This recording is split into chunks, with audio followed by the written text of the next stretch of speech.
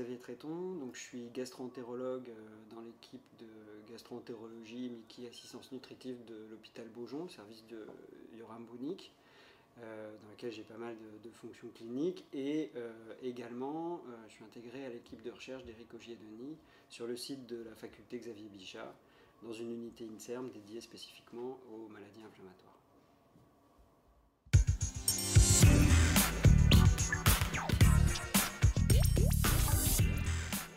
Alors, euh, j'ai toujours trouvé que c'était relativement frustrant euh, quand on soigne des malades d'être confronté à des difficultés diagnostiques, à des échecs de traitement, à comprendre pourquoi les médicaments marchent, ils marchent pas. Et euh, dès lors qu'on s'investit dans la gestion d'une pathologie et qu'on se surspécialise en, gastroentérologie dans la prise en charge des maladies inflammatoires, trouve que les limites qu'on a dans la pratique quotidienne avec les difficultés qu'ont les patients et qu'on n'arrive pas forcément à surmonter avec les moyens actuels font que naturellement on a envie d'aller plus loin et aller plus loin ça veut dire se former à la recherche, euh, faire de la recherche pour essayer de faire évoluer la compréhension, la prise en charge des maladies et contribuer à, prendre en charge mieux les traitements. Donc pour moi la, pratique d'intégrer de la recherche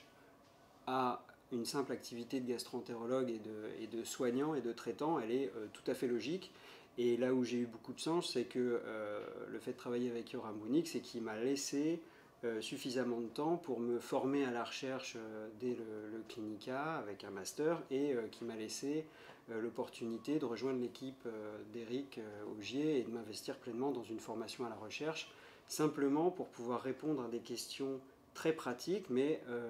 sur lesquelles on est limité quand on ne fait pas avancer la compréhension de la maladie. Donc c'est pour moi tout à fait euh, naturel de combiner les deux, euh, les deux aspects et ça permet simplement d'avoir une meilleure vision de la maladie et peut-être d'influer sur, euh, sur ce qui va être le changement de sa prise en charge.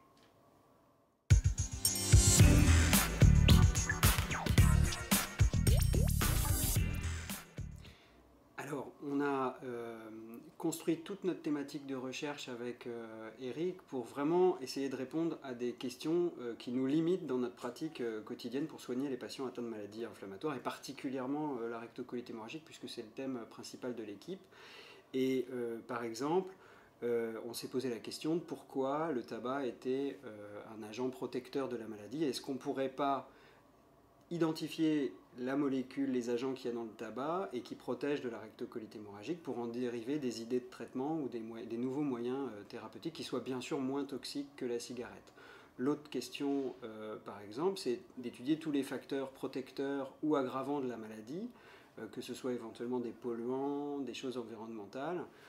qu'il y a dans l'environnement et qui modulent le risque de rectocolite hémorragique et l'appendicectomie dont on sait que c'est un facteur protecteur quand elle est faite en âge jeune et euh, qui protège les patients de développer une rectocolite hémorragique. Donc ça c'est des questions très pratiques. On pense que quand on va résoudre ces questions, on aura de nouvelles idées pour soigner les patients et les soucis c'est que euh, ces questions-là elles existent depuis 20 à 30 ans et qu'on n'avait pas jusque-là les moyens, les modèles, la technologie pour y répondre. Et donc le premier effort qu'on a euh, dans l'équipe avec Eric, bah, c'est de se donner les moyens, d'inventer les modèles et les, techniques un peu nouvelles pour pouvoir répondre à ces questions. Alors à partir de matériel humain ici de biopsie endoscopique. Donc euh, on, a, on, a, monté avec Eric euh, des projets transversaux pour monter une biobanque euh, qui nous permet de travailler directement ces questions-là sur des biopsies de patients avec toutes les autorisations nécessaires. Et puis euh, la, souris qui reproduit une rectocolite hémorragique, qui est un nouveau modèle qui va nous permettre d'exploiter toutes ces caractéristiques et de pouvoir répondre, on l'espère, à ces questions-là. Et de toutes ces choses-là, naîtront probablement, on l'espère, on a déjà des résultats encourageants, euh, des idées pour euh, des nouvelles voies thérapeutiques, inventer des médicaments. La finalité ultime étant, puisqu'on a une grosse expertise, une expertise importante dans, les essais cliniques, de pouvoir euh, apporter le fruit de nos recherches au laboratoire et d'en faire bénéficier directement les patients en montant les essais cliniques directement à l'hôpital Beaujon avec Yorin Bounik, dont l'expertise est bien sûr de ce domaine.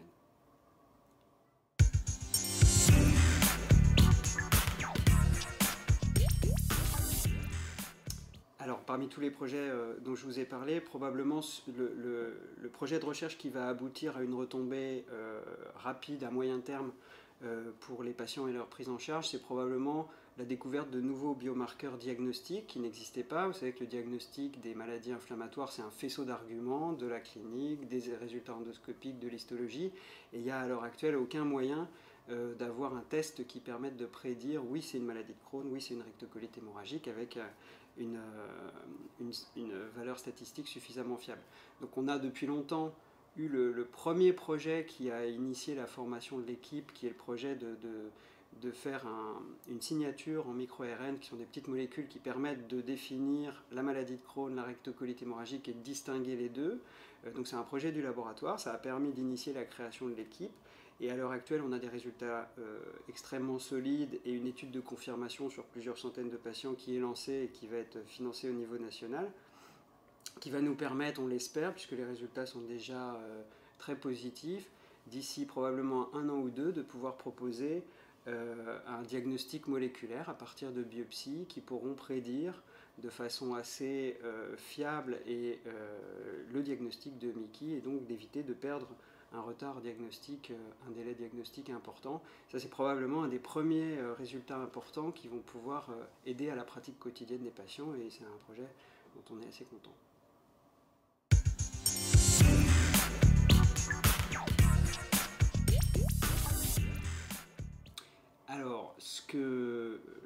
A permis euh, dans tous nos projets de recherche, c'est à plusieurs niveaux. Euh, je crois que le premier niveau, c'est d'avoir su financer euh, nos projets très en amont, alors même que ces projets étaient parfois très préliminaires, simplement quelques idées et quelques résultats préliminaires. Et dans tous nos projets importants et principaux et qui sont actuellement conduits et développés, euh, tous les financements publics, que ce soit les ANR, les, demandes de fonds publics, euh, nécessitent d'avoir des résultats solides et quasiment d'avoir terminé le projet. Et euh, on ne peut pas faire un projet sans argent. Et ce qui a permis la FA, c'est de mettre le pied à l'étrier de plusieurs de nos projets importants, c'est-à-dire de les soutenir, de prendre le risque de les soutenir, alors même qu'ils étaient très préliminaires et parfois un peu risqués. Et ça, les pouvoirs publics ne le font pas. Et donc on a pu se présenter grâce à l'AFA avec des résultats préliminaires importants qu'on avait pu développer et ensuite obtenir des demandes de fonds plus importantes ou de niveau équivalent et qui ont été soutenues ensuite. Mais ça, on n'aurait pas pu le faire euh, sans l'AFA.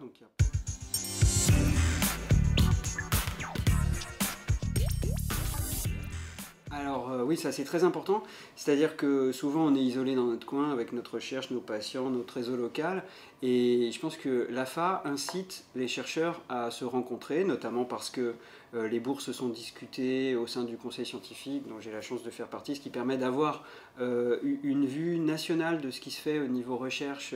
sur les maladies inflammatoires, ce qui permet de se faire rencontrer les équipes, parce que forcément ça crée des liens et on imagine beaucoup plus vite des collaborations possibles quand on discute ensemble des projets. Alors certes, on se voit en congrès, mais c'est pas pareil. Là, c'est un temps dédié pour discuter des, projets de recherche des uns, des autres, de les critiquer, voire de les améliorer. Et donc ça, c'est extrêmement euh, important. Et ça, je pense que ça enrichit vraiment la façon de faire de la recherche sur les Mickey en France. Et l'AFA permet cette rencontre entre chercheurs, et même elle la rend quasi obligatoire, et ce qui est très bien. Euh, et, oui, et dans notre exemple à nous, Eric l'a dit tout à l'heure, ça a clairement cimenté des collaborations qui sont devenues pérennes avec la fusion avec l'équipe de Jean-Pierre Hugo. Et, donc oui, je pense que l'AFA a ce lien-là, euh, a ce rôle-là.